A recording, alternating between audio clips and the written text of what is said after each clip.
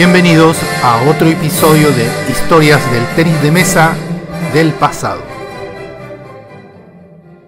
Hola amigos del tenis de mesa, este es el Mauricio Vergara en el canal de Spinman. Hoy les traigo otro video de la historia del tenis de mesa de Chile. Si se dieron cuenta, ha transcurrido un tiempo desde que puse un video de historia. Y esto es porque en el año 60-61 en el 62 sobre todo, hay, se suceden una serie de eventos, eh, particularmente la derrota de Chile, de la, de la selección chilena, por el campeón brasileño Viriga, que en ese tiempo tenía como 14, 15 años, y se da el Mundial de Fútbol en Chile, que lleva al fútbol probablemente a la cúspide eh, en términos de logros. Así que empieza a haber menos cobertura de los deportes que no son fútbol. Esto en particular se nota con el tenis de mesa, que ya no aparece tan frecuentemente, ni siquiera frecuentemente, digamos. Finalmente, la primera semestre del 63 aparece un artículo y ese es el artículo en que, que voy a leer a continuación. El tenis de mesa vivió una temporada sin estruendos en lo que concierne a competencias, torneos grandes o victorias espectaculares una temporada que sirvió para ratificar la capacidad de figuras ya conocidas, que tanto en casa como en el extranjero revalidaron sus méritos de manera incuestionable.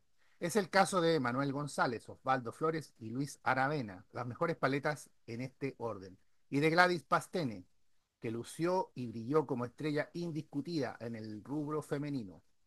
El caso de esta cultora, que ahora defiende al municipal, es digno de ser destacado, ya que figura en el primer plano del continente y es la única en buenas cuentas capaz de hacer frente a las campeonas brasileñas, como lo ha demostrado en diversos escenarios, incluyendo la última incursión en Paraguay. Y en cuanto a Manuel González, vale la pena ensalzarlo, no como una de las figuras de nuestro deporte, pues su campaña se remonta a varios años en que viene paleteando sin rivales para saber también de numerosas jinetas internacionales, o sea que se trata de un auténtico valor. Ahora bien, al igual que en otros deportes, el tenis de mesa desarrolla su actividad principalmente en Santiago y fue en la capital donde los clubes dieron vida a los certámenes tradicionales de apertura y oficial para consagrar a Unión Española como campeón absoluto de una superioridad envidiable en todas las divisiones que redundó lógicamente en, un triunfo amplio en el puntaje general del año. Según ese puntaje, Unión Española obtuvo 413 puntos, Municipal 340, Banfield de Yungay 310 y Deportivo Iris 139. Interesante lo ocurrido con las paletas municipales, campeones de apertura, ya que en ello constituye una novedad y un aporte que irá en beneficio de la mayor rivalidad entre las instituciones tradicionales.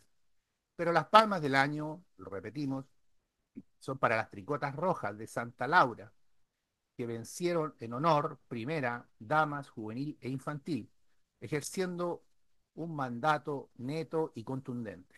¿Algo más? Sí, en lo favorable, la aparición de algunas figuras infantiles, en lo que puede esperarse una madurez venturosa, como Jaime Mena, Fernando Aravena, Edison Luengo, la confirmación de bondades de los juveniles Javier González, Ricardo Muñoz y Ramón Flores, la actuación esforzada de Hilda Varia, Lucía González, Erika Medina y otras paletas femeninas que por ahora escoltan a Gladys Pastene.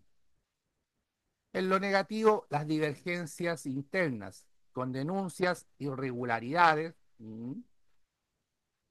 y otros hechos deplorables en el manejo federativo que culminaron con el alejamiento de autoridades y la, y la aplicación de medidas de organismos superiores, incluyendo una presentación a poderes ajenos al deporte. En tal sentido, 1962 nos deja para el ping-pong chileno una estela placentera. Qué raro. mi tristeza, hoy que así, en mi pobre vida vaya solo una buena mujer. Tu presencia de bacana puso calor en mi nido, fuiste buena consecuente yo sé que me has querido, como no quisiste a nadie, como no podrás querer.